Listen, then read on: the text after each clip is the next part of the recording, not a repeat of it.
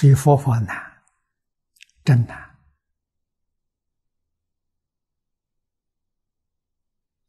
华严跟大智度论里面都说，佛法无人说，虽智莫能解。啊，这是说佛法，啊，也就是佛的经典。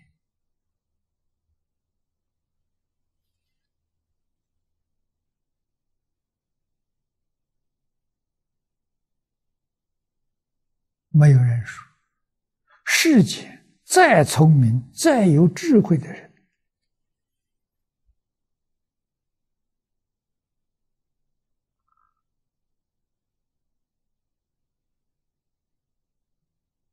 他不能够理解佛所说的这一切话。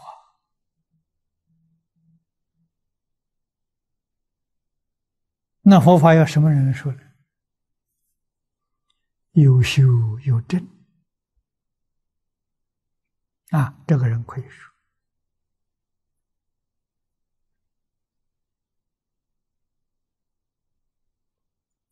现在找这种人找不到了，有证的人找不到了，那不得已而求其次，找有修行的。啊，什么叫修行？佛经上所讲的，他都能做到，这是有修。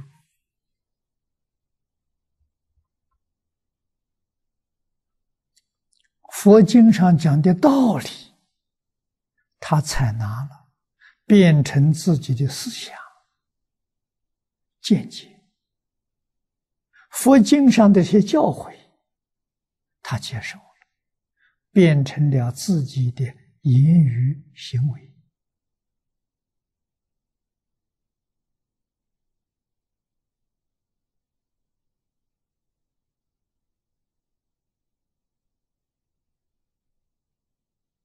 我们真的看到一些人，特别是修净土。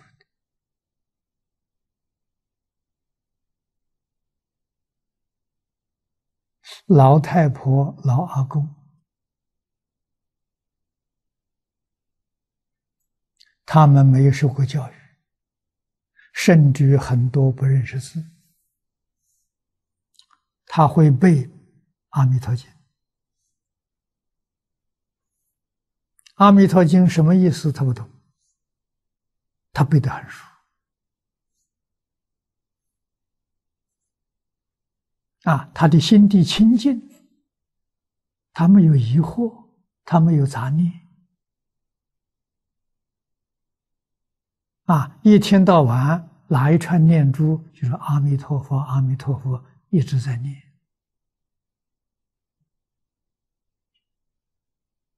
一生他不改变。啊，就是这么老老实实过了一辈子。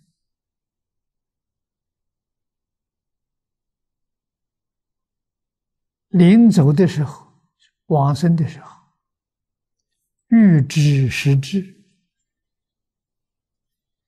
晓得什么时候佛来接他，瑞相稀有，他成佛去了。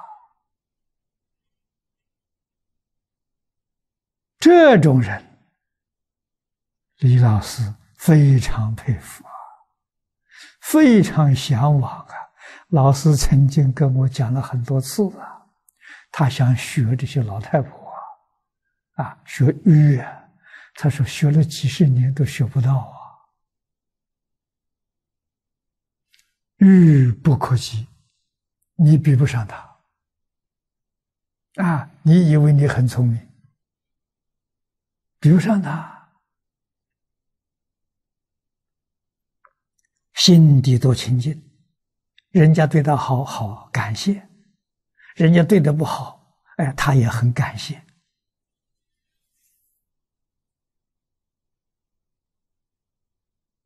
啊，你一看他这种真诚慈悲，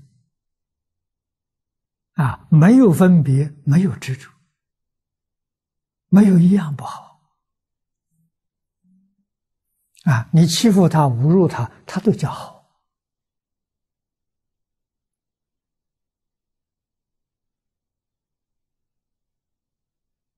给我们做榜样啊，成佛了。啊，真正成佛修行就是那个样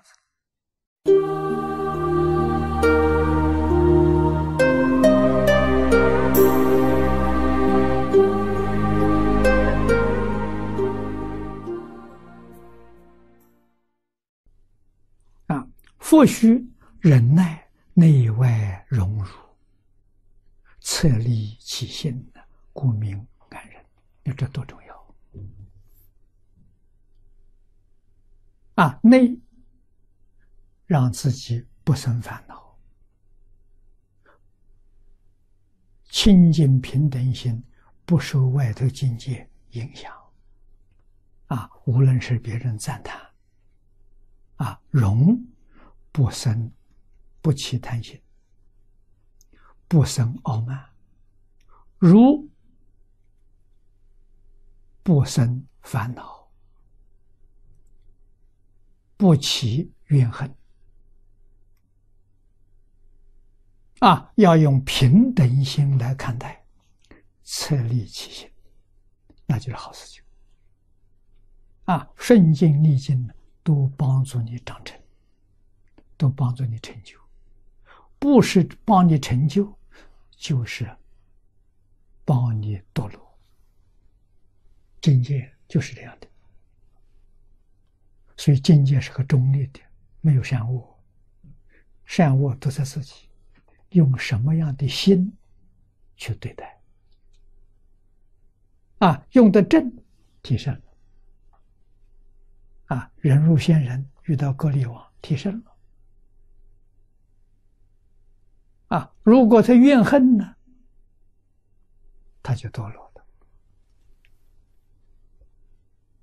啊，他就又回到六道轮回，搞冤冤相报了。啊，所以我们要记住，外面境界永远没有善恶。欧耶大师说的很好，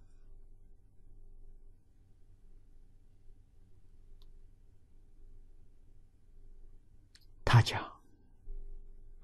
境缘无好丑，好丑。”存于心，我们用好的心看外面的境缘，境是物质境界，缘是人事境界。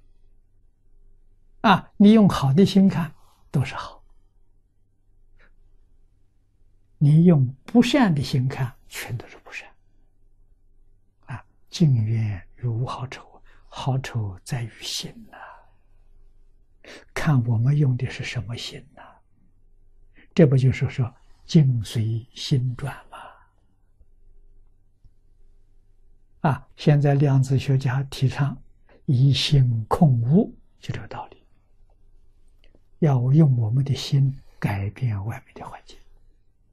你天天改，不要急着，哎，怎么还没转过来啊？不要想这些，说我功夫不到，只一味求自己，不要。求外面，这就对了。啊，我们要从外面求呢，那就错了。从内求啊，就对了。啊，所以佛法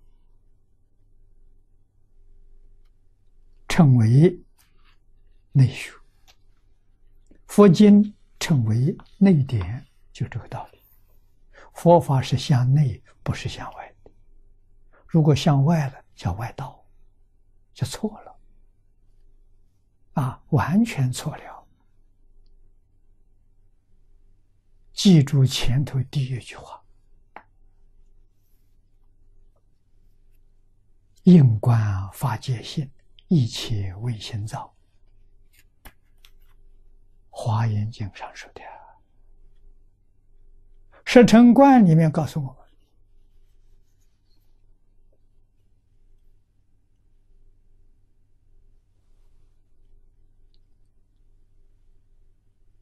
们：“无是先造的，全体是心。”这说的多干净呐！一句话。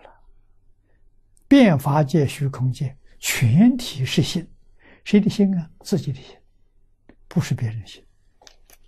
所以，任何事情不能怨天尤人，不能怪别人。啊，好自己造，不好也是自己造，自己要负百分之百的责任。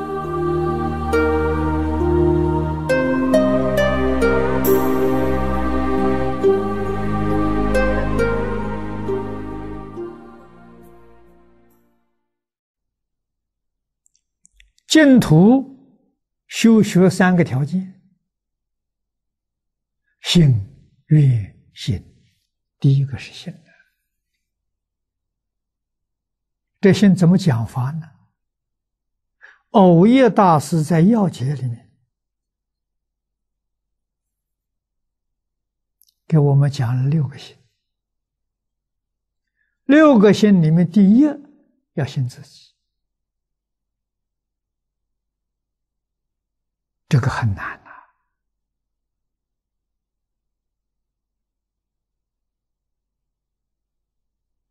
啊，第二个幸福，你不信自己幸福没用啊！信自己信什么呢？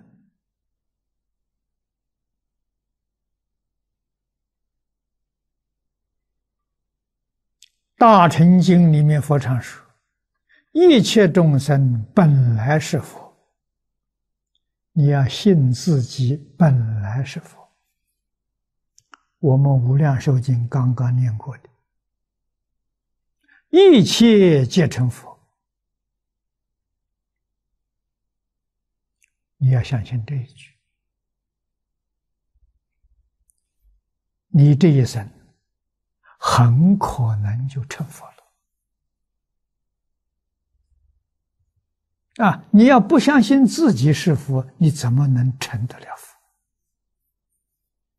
啊！你看念佛的人多少，信佛的人多少？佛是谁呀？释迦牟尼、阿弥陀佛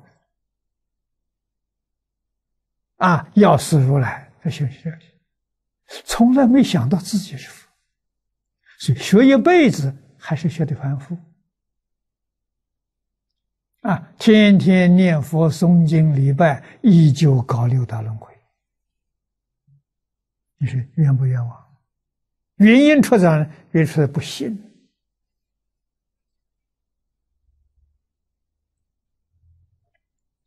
这多重要啊！慧能大师一生成就，你看他见五祖的面，啊，礼拜的时候，五祖问他：“你来求什么？”我来做佛，你们看《坛经》，他来是要做佛的，真成佛了。你成不了佛，你不想做佛吗？你不知道做佛吗？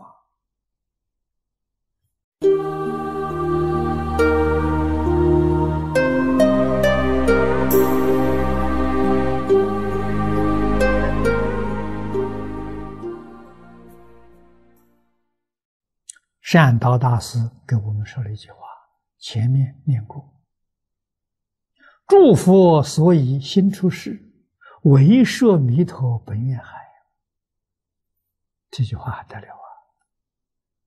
意思是，十方三世一切诸佛如来，示现在世间，八相成道，修行成道，啊，度众生。用什么方法？无一不是用敬宗持名念佛的方法。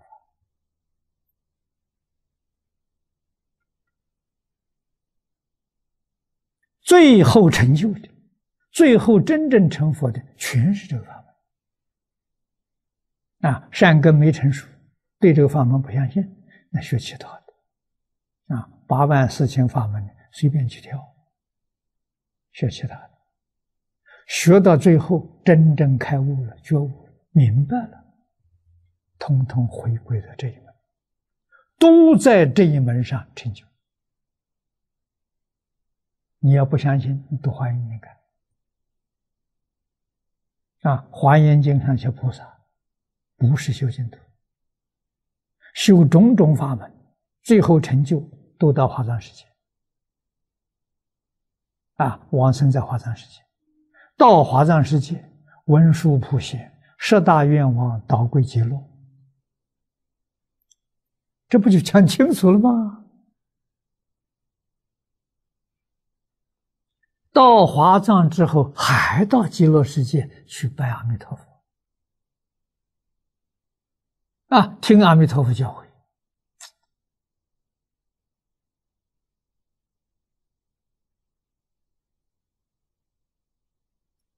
善导那一句话就是说这个现象啊，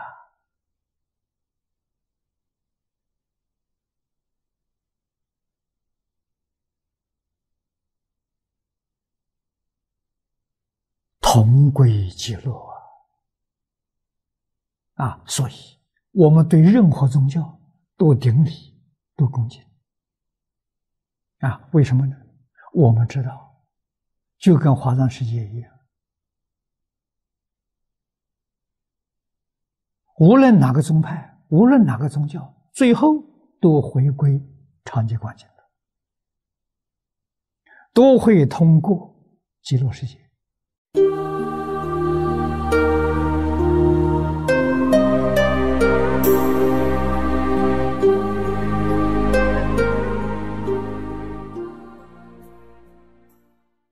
啊，佛菩萨用什么手段呢？给诸说用教育。没有一尊佛菩萨不讲经教学的，没有。啊，那中国老祖宗，佛法没到中国来，老祖宗就知道，提出建国军民教学为先。实际上，这个教学为先在中国已经根深蒂固。啊，为什么中国家庭是大家庭制度？自古以来不分家了，一家人为什么要分？不分家，不分家，家里人口越来越多。啊，五代六代同堂，就两三百人。啊，家里头人丁兴旺，五六百人，七八百人，很平常啊。大家族啊，啊，这么大的团体在一起生活，没有规矩行吗？所以，教学为先呢，从这儿来的。你要不把他教好，那这么多人天天在一块吵架，那这个家庭没有欢乐，那不像个家庭了。这家庭的和睦全靠教育啊！所以家在中国有四大支柱：家道、家规、家学、家业。四大支柱，这四个支柱，有人能够继承，他的家世世代代延续下去，不衰不败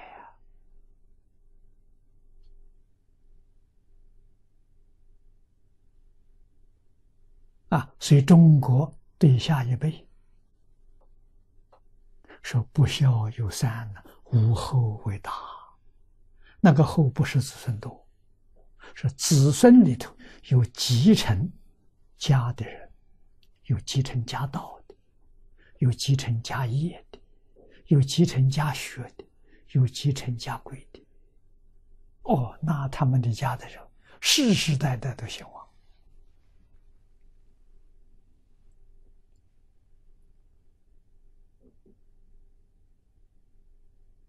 啊这个道理我们要懂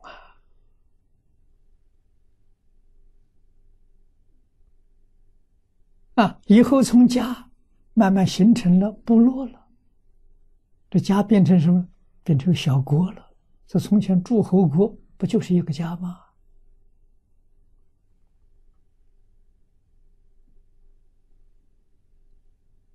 啊，所以中国人懂得教育。远古他就懂得。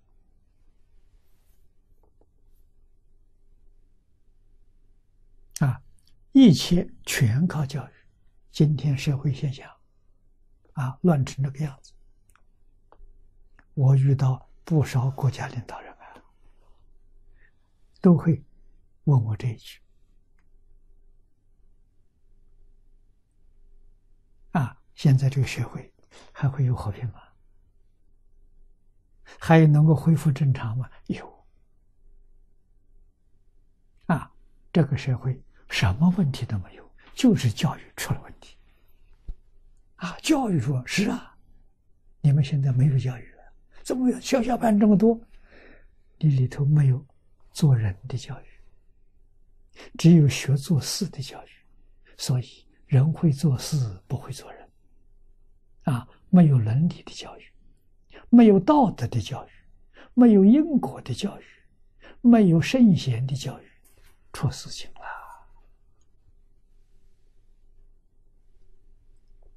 什么样的制度都是枉然。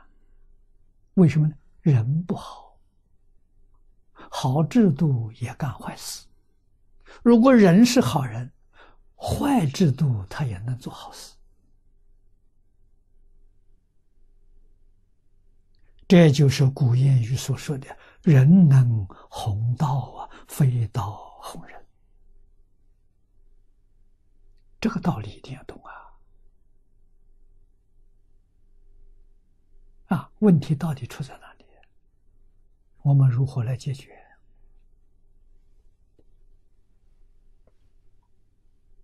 那那还有救吗？有救，问题就是你肯不肯干？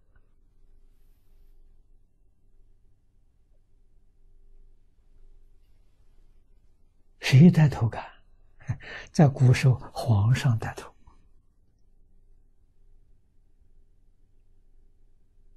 啊，人民才肯跟着学啊。人民里头出一个带头不行啊，没人肯跟他学。啊，所以要国家领导人，他觉悟了，他真干了，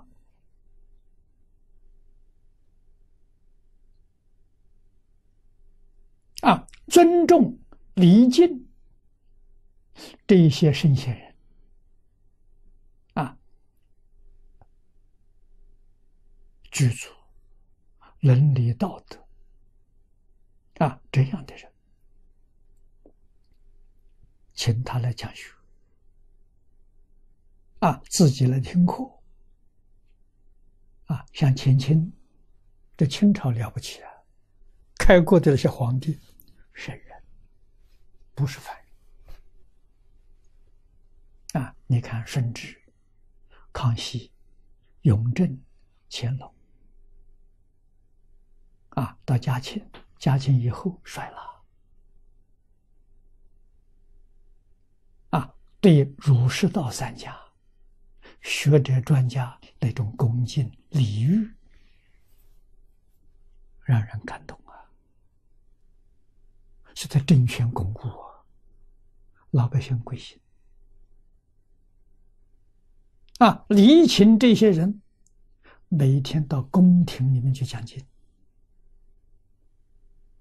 给他们上课，皇帝带着嫔妃文武大臣。听课学习呀，啊，不但学习，还有副讲，他真干，不是假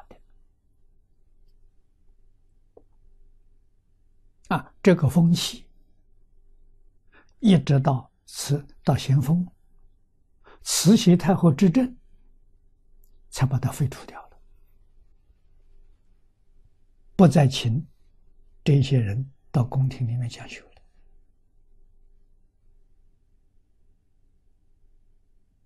啊慈禧太后迷信那疑难的事情怎么办从前疑难事情向这些专家学者请教。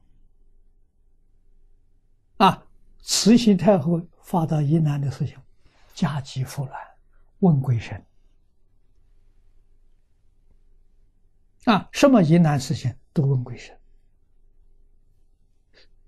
鬼神把他的国家灭掉了。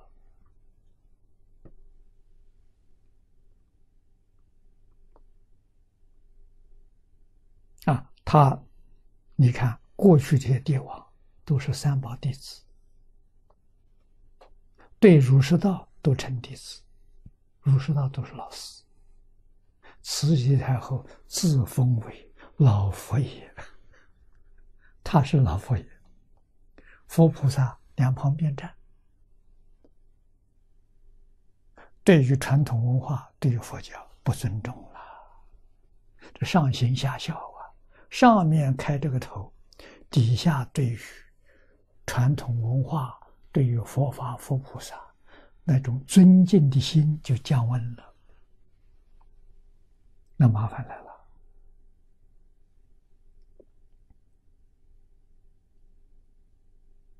啊，满清末后一百年，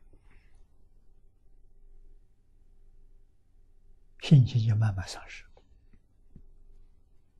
啊，西洋文化进来了，迷信西方科学、科学技术。民国成立之后，讲的人都没有了。满清末年还有人讲，没有人相信，没有人学习了。到民国这一百年，一个世纪，讲的人没有了，所以变成中国人对自己文化非常生疏。比不上外国人。外国人谈谈中国文化，中国人在外国没有谈中国传统文化。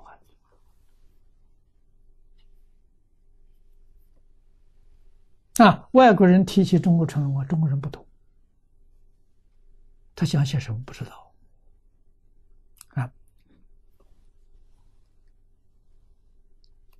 这个问题，这叫真正是病患。